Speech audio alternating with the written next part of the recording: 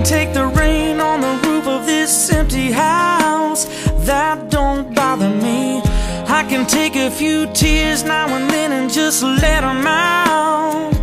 I'm not afraid to cry, everyone's in